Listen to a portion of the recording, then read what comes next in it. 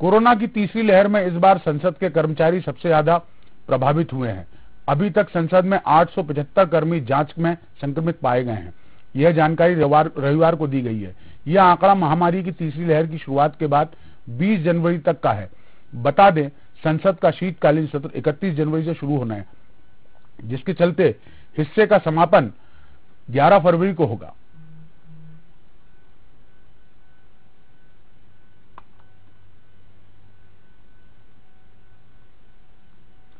रविवार रात जारी हेल्थ बुलेटिन के मुताबिक पिछले 24